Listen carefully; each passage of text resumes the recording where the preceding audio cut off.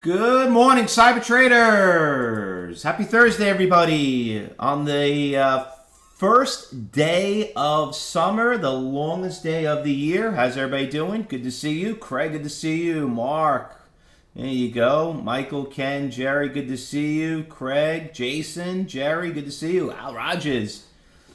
It was nice to see you too, buddy. Everyone. Mark, Fernando, Deb Fine. Good, good, good. And all the fellow traders. Good morning, everyone. So I guess um, before we start getting into talking about um, the SBOT that we started trading about an hour ago, and you can see what a beautiful little run it's doing. Not as pretty as the other ones of yesterday and the day before that, but once again, early bird gets the money, and we'll uh, we'll talk a little bit about that uh, before, and, and also some other ones that are making the watch list. But before we do that, let's get right into talking about what happened yesterday because we had a couple of good stocks that made some big moves, and we always like to kind of uh, talk a little bit about it and let everybody know what they missed. And don't worry about it, whatever you missed, it's always a brand new day. But a couple of stocks are on our watch list. Uh, I just want to bring up uh, the CBLS was a nice little move yesterday with that stock just popped. You could see went from four all the way to 11. Stock was literally up about 200%. Um, then all of a sudden it came crashing down. You know, that's why, but the money was made, you know, right here. You could see on the short side, stock gapped up pretty nice. And you could see once the trend kept going lower, lower, you know, just because you think the stock is good doesn't mean that you can't short it. There was a couple of them like that, and we'll, we'll, we'll, look at them uh, that, uh, that did exactly that. Claps, CLPS, that was a pretty nice one. Went from 6 all the way to uh, 17. Nice little push. Not as nice as a trend as some of the other ones. Did a couple of nasty shakes out there. I know some people got caught on it, but that one did pretty. Um, that one did pretty well. It was up um, really nicely, eleven to about uh, seventeen dollars. And obviously, the typical IQ trade did really well, and the HUYA. You know, I know we've been trading those stocks um, on our swing trades. Have been doing pretty well. Fox also has done very, very well too. Uh, I told you this yesterday. I actually held the position overnight. Um, several reasons why. We've seen this before. Uh, Disney sweetened the deal. The worst thing could happen to you at Fox is you break even. But if Comcast comes in there and counter offers, because we all know about when you're in a bidding war for a company, you know, for a house, you don't like to be second. You don't want to lose. So, uh, and that kind of happened twice over here. You can see how it gapped up from 40 to 44. Now it's at the 48. Um, so anyway, if a worst case uh, worst case scenario, well, I'll make a little bit when it dropped all the way down here to 47.50. I know I'm not going to get hurt. The buyout is the buyout, but if Comcast comes in there, you know, look for the thing go high. Already gapped up already. You know, it's already gapped up pretty nice, but we did pretty well on that one. And then SBUX was probably the best of them all yesterday. That was one of the big morning, and actually I, I, got, I didn't mention the I. Starbucks I was talking about it yesterday. I told you this stock hasn't gone absolutely nowhere after everything that's going on. Now Starbucks is in the news, you know, with its, uh, uh, you know, um, all these, you know, what's happening in China. You know, they got like 17%, 14% of their their money, uh, uh, revenues in China. Now you have these tariffs that are coming in. But then they had all this stuff. I, I actually thought this was going to happen even before the tariffs when they uh, what happened when they had those uh, those guys arrested and they closed down the store for one day. One day they closed down the store, all their stores, to teach their employees, you know, customer relations stuff like that. Let me tell you, that's a lot of money right there, guys. You know, one day, one day is a fortune.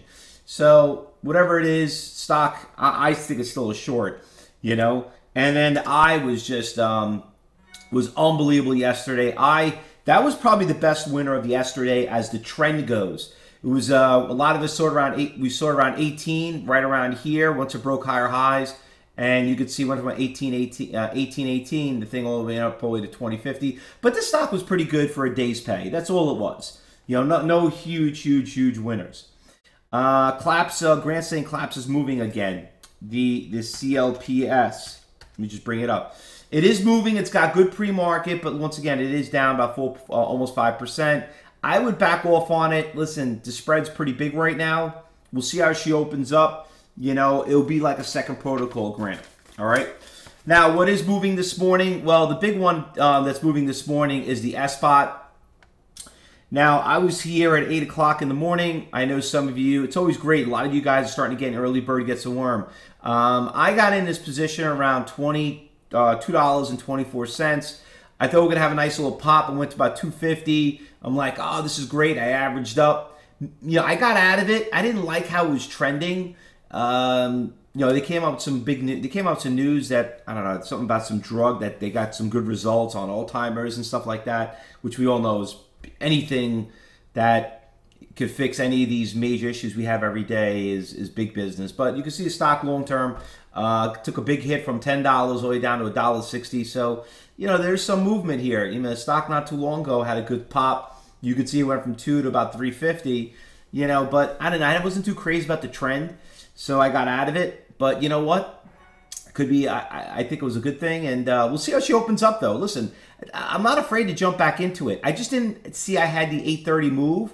Great volume. Look at look at the look at the matrix over here. Huge, huge uh, I orders everywhere. Stock already traded 3.3 million shares. That's a lot of damn shares, if you ask me. All right. So anyway, SBOT Fox is going back on my watch list. So you got FO FOX and you got FOXA.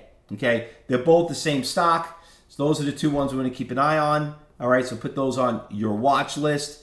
And then um, there was a couple other little cheapies here. This one I saw had a nice little push, CASI. She gapped up huge. She went from 6 all the way to 850. She started to build little support levels right here. Let's see how she how she's going to hold right here. You Remember, use your your matrix. If you don't have the matrix, you go use NASDAQ Book Viewer. You know, you can see over here. Let me just bring up CASI.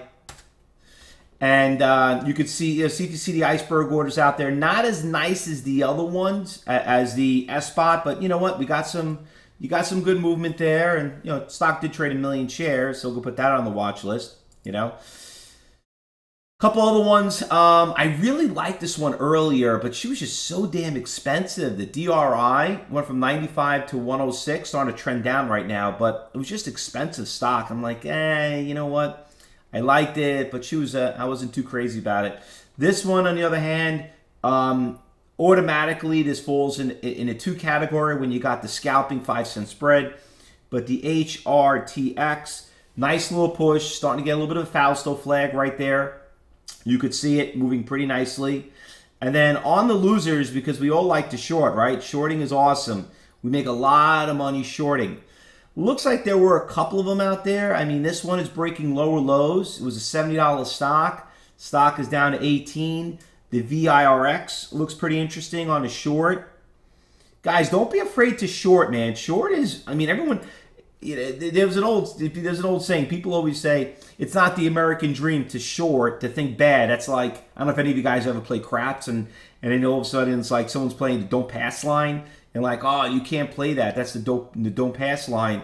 You know, it's like you're, you're trading against everyone. Listen, money's money, right? You're out there for yourself, so don't ever think that you know you're doing something bad. Know, we made a lot. Listen, you saw Starbucks yesterday, how great that was. So eh, it's what it's all about. By the way, want to bring up um, something also before um, before we go is the GEVO. Listen, this is program trading at its best. We made so much money with GEVO. It went from four all the way to 24, and it's so funny. I got a I got a message on YouTube um, from uh, from somebody who's been following me, and he was asking me. He says, "Hey Fausto, what happened to GEVO? I thought you said it was a good stock." You know, I'm like, "Where? What, what today or three days ago?" You know what I mean? Uh, but why is it down to 12? Who the hell cares why it's at 12? I'm not even, you should have came to us two days ago. That's what trading is. Day trading, let me just clarify, is you're in and out the same day, okay? Once you hold a position overnight, you're no longer a day trader or a swing trader. And this is why people get confused when it comes to trading. They don't know the difference. So anyway, but you know how many people were are in this position right now and they think the stock was like, oh, but you said it was going higher. I'm like, when did you come in the morning? You know, so um, unfortunately, you know, this is what you have to learn, and you have to just learn how to play the game. And you know, but listen, with GEVO, I don't know if it was on your short list. It went up pretty fast. I, I to me, it's still it's, it's going on my watch list because now, you know, as a day trader, she's no longer a long; she is now a short. But yesterday, what a great short, 20 down to 12. I don't know if your brokerage firm has it in in their inventory, but that's another that's another thing you got to take up with them. But if you did, let me tell you, you, cleaned up on that one. And by the way, a couple other stocks are doing really well for us. By the way, Shack on our swing trade is doing great. Um, Shake Shack just has not stopped. You know, just kept going higher and higher. Shack and also the GoDaddy trade. Just like it's always just creeping up little by little. Look at those beautiful trends. That's what you want, you know. Um, stocks like stocks like this. So they all did really, really well. All right, guys. Anything I'm missing? I did not call out. Any anything? By the way, regarding about the pre-market settings and this and that, and how to set up your platform. Listen, um, if you're a student, we teach you in class. If you're not a student, you got to call your brokerage firm and ask them. I can just tell you this: a lot of them don't want you to get involved in pre-market because if you're not trained, you don't know what you do. You end up doing more damage to yourself than good. But you could see most of the money that we make if you if you let us train you, we make most of our money in pre-market. All right. Anything I'm missing I did not call out, students, fellow traders? All right, now, guys, don't forget class today. Um, you're starting phase two. So um, this is where things get a lot more interesting. In phase two, we're going to teach you a little bit more about Fausto flags. We're going to teach you about how to controlling, you know, um, why losing money is a good thing. Because if you know why you did it, you won't do it again, which a lot of people don't know how to prevent. We're going to talk about psychology. Uh, you're going to talk about um, shakes you know, what we saw this morning regarding about SBOT. So this is where things get a little bit more involved, a little bit more intense. And then don't forget next week uh, in phase three is where you guys are going to trade side by side with me. We're going to take all this and put it to the test. And I'm actually going to put you to the test and tell you if you're right and wrong and see how we do. So don't forget about that class. And then also today, 12 o'clock, you know that's our middle of the day, open house. Anybody wants to come and join us, tell your friends, tweet, tweet about it, Facebook about it, Instagram about it. YouTube about it, but uh, try to try to come out there at 12 o'clock, and let's just tell everyone uh, how great trading is all about. Because once again, it's not for everyone. Good luck, everyone. Happy trading, and uh, let's make some money going into this open. All right. Other than that, I'll see you in class and see you at 12. And then remember, we got the afternoon meeting at 2:30. Good luck, everyone.